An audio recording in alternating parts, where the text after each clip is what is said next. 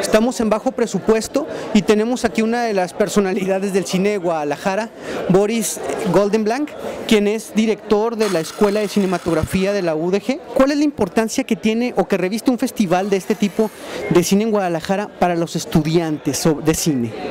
Sí, eh, yo creo que es algo muy importante.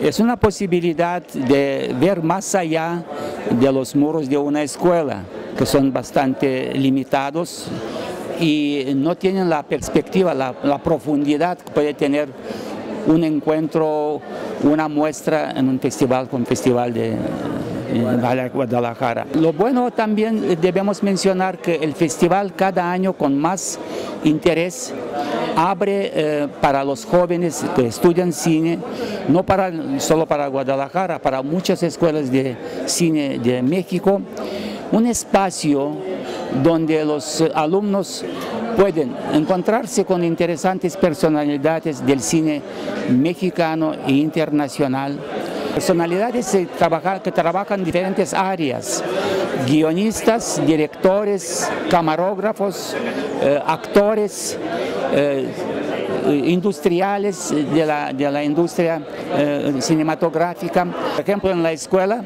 cada año tenemos unos talleres prácticos. Por ejemplo, en ese año vamos a tener un taller que se llama DocuLab, Laboratorio Documental, donde se van a hacer análisis de varios documentales. Un grupo de documentalistas reconocidos van a ver esos nueve escogidos documentales y ante el auditorio de estudiantes van a hacer una, una, un análisis, una profunda apreciación del material, de sus posibilidades, de diferentes estructuras que puede tener ese material que ahora se encuentra en proceso de formación, de estructuración. ¿A qué cree que se deba este interés nuevo que tiene la gente sobre el cine documental? Yo creo que es algo muy, muy entendible. Los procesos políticos y sociales que atolpadece nuestro mundo de hoy, los cambios tan serios y a veces bruscos que sufren las sociedades de diferentes países requieren una rápida respuesta, una, un rápido análisis y una, una rápida eh, apreciación, lo que el cine de ficción no puede dar. El cine ficción más lento, requiere más recursos. El documental puede responder mucho más pronto, de una forma mucho más rápida y ligada con la realidad que conoce el público. Eh, además, los jóvenes, eh, que son siempre inquietos, eh, quieren expresarse sobre los asuntos diarios, lo que sucede hoy y ahora y aquí.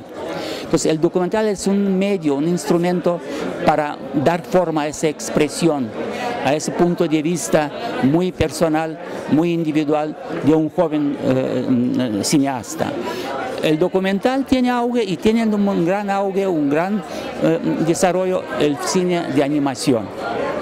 Animación que hace unos 5 o 6 años era un pequeño niño de un gran festival, ahora tiene su apartado, tiene su jurado y tiene interesante que dentro del jurado son jóvenes que terminaron la escuela que se titularon con animación y ahora están apreciando, analizando animaciones de sus colegas que presentaron sus trabajos.